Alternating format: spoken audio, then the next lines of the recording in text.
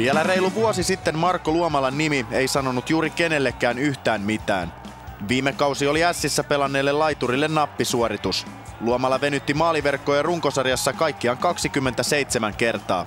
Ottajia keväällä riitti.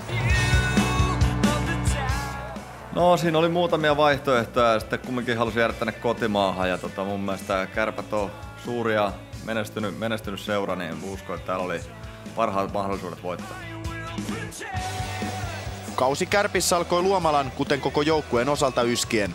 Maaleja on nähty, mutta oululaiset haluavat enemmän.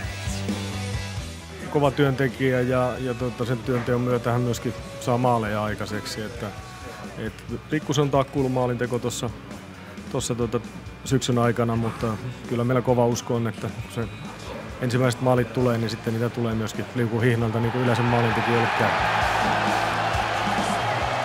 No varmaan kaikki odottaa, että tekisin taas sen 27 kaappiin, mutta toi niin itse, itse yritän ottaa vähän rennommin ja tehdä parhaani ja katsoa mihin se riittää.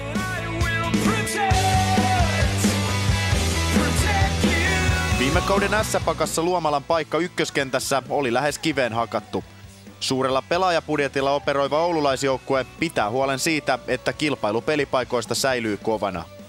No tietysti kyllä se vähän vaikuttaa, että kun on koko ajan, koko ajan teksti TVllä uutta ajaa tulossa ja varmaan Fandulikin tulee ensi viikolla takaisin, että aikamoista här, ollut.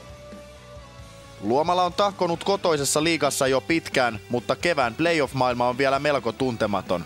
Suurseura kärppien riveissä päämäärä onkin selkeä. No kyllähän se mitali on tavoite, että ei ole hirveästi tullut voitettua oikein, oikein mitään muutamia vuosia. Että kyllä varmaan semmoista joukkueen menestystä haetaan.